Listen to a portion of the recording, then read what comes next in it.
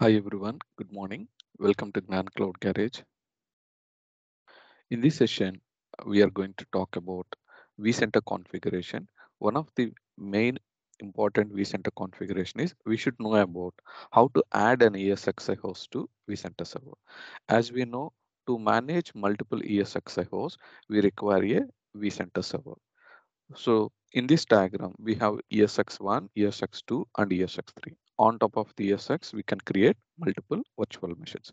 To manage multiple ESX hosts, we require a vCenter server. We can call it as vCenter server appliance. Okay, in short form, vCenter. And now I'm trying to show you the vCenter use cases. Before we start explaining the all the use cases, let me log into our lab system.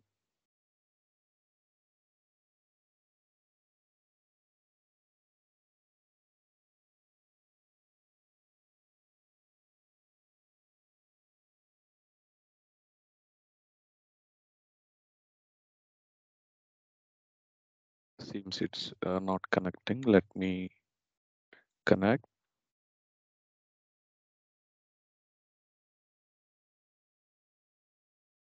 Let me close and reopen.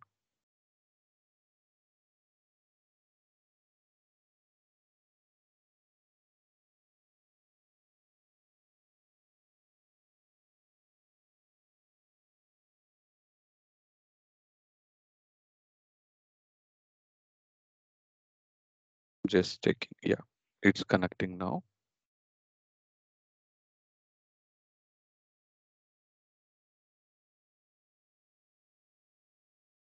Okay, once we connect to the our lab system, let's make sure that our Active Directory server should be up state and ESX1, ESX2, ESX3. We have three ESX here. All the hosts are up and even the vCenter server is up. So let's open any browser and connect to our vCenter server and enter our vCenter server login credentials.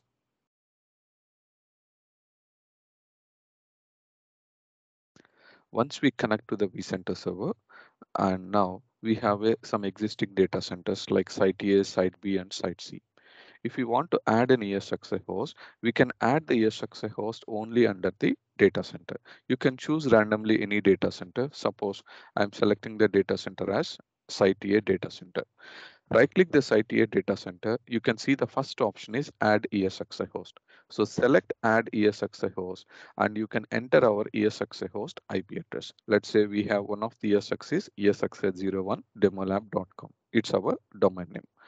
It's a fully qualified domain name. Either you can enter the host name or you can enter the IP address. Now click on next and you can enter the username. Let's say username is root and assign the password. Now click on next. So while adding the ESXi host, see it is providing the complete ESXi host summary and the vendor for this ESX is VMware. Okay, and the current version is 7.0.3. It's that means it's a 7.0 update 3.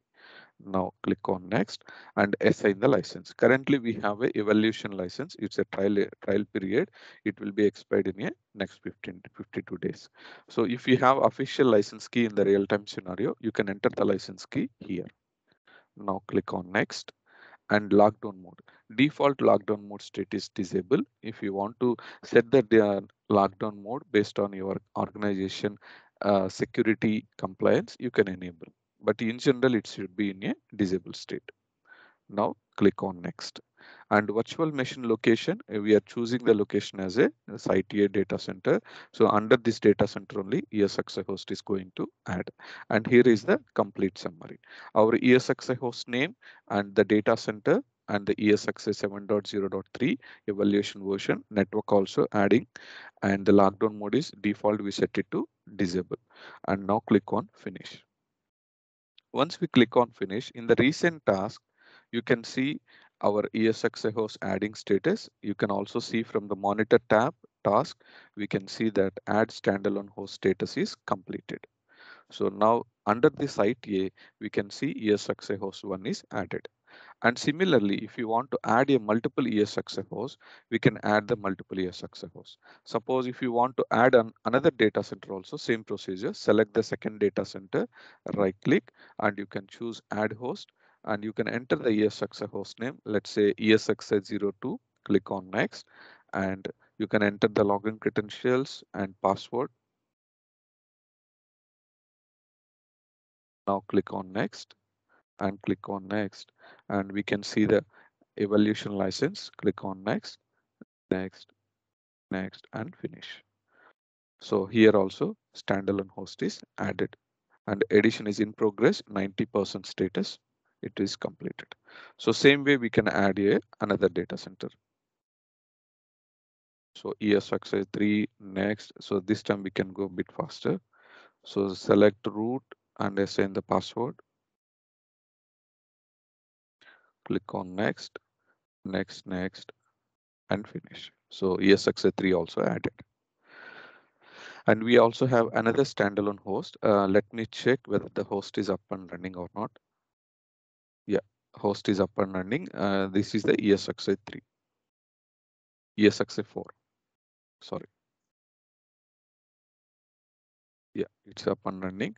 Okay, we can try to add this host also. Let's say we are trying to add under the same host, same data center, site A, or we can choose Gnan Cloud Garage. Right click here, add host. Here this time we can plan to add it with a IP address. We can test how we can add with IP address also, same procedure. Next, and you can enter the login credentials.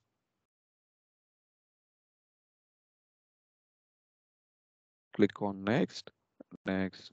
So same procedure, finish.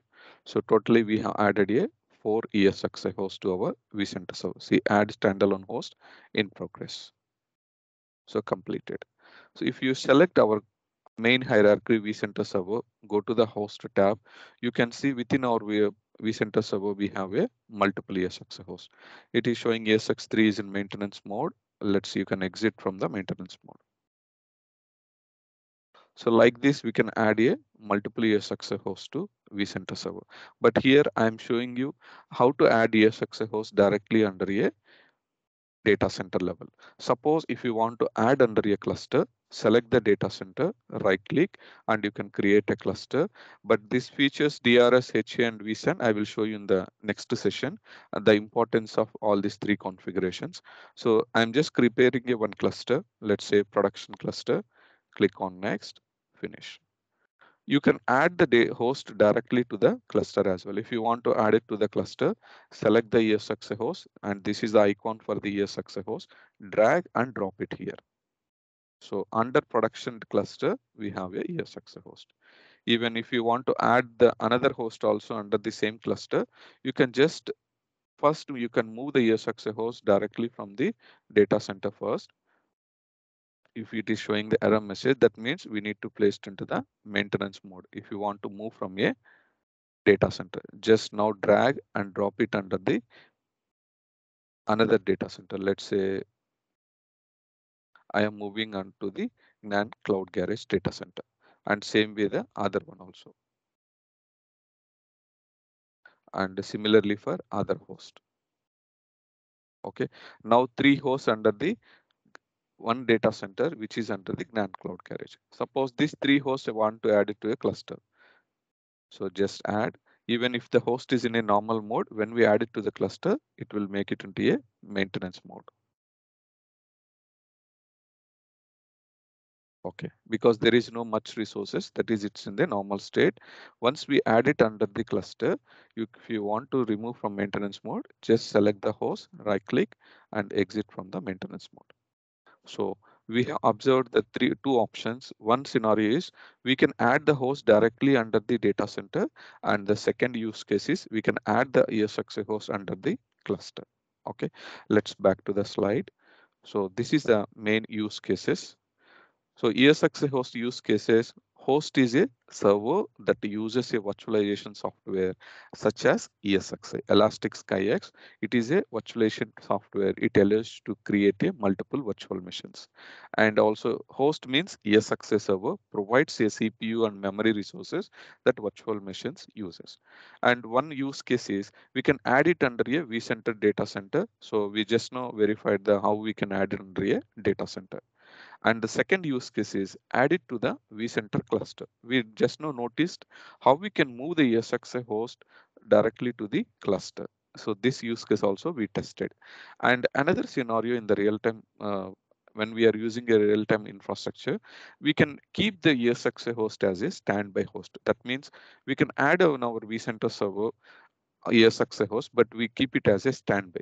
The reason for the standby host is whenever there is any resource crunch in our vCenter server, during that time, we can use a standby ESX host. That is one scenario. Another scenario, suppose any of our ESX hosts having a unexpected hardware related issues. During that scenario also, we can use this standby host. That is the purpose of use case 3.